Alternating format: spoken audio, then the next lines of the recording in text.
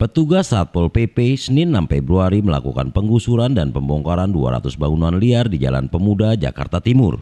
Bangunan tersebut berdiri di atas tanah milik suku dinas pemadam kebakaran. Sebelumnya, pada Senin 8 Januari lalu, bangunan tersebut gagal dieksekusi. Menurut Kepala Satpol PP Jakarta Timur, Sarpu, lahan seluas 9.820 meter persegi itu akan dijadikan kantor suku dinas pemadam kebakaran dan penanggulangan bencana Jakarta. Dalam aksi tersebut tidak ada perlawanan dari pemilik bangunan karena sebelumnya pada tanggal 2 Februari lalu pihak Satpol PP sudah memberi peringatan ulang.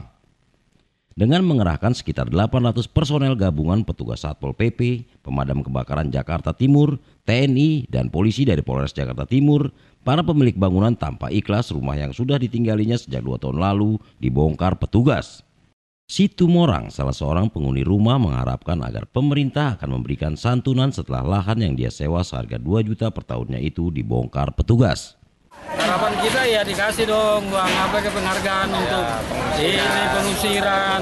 Oh gitu. Ini anjing aja mau diusir masih kasih makan tulang. Oh, Supaya dia pergi rela kan. Ini kagak ada. Dari Jakarta Timur, Muhammad Ipan, Poskota TV melaporkan.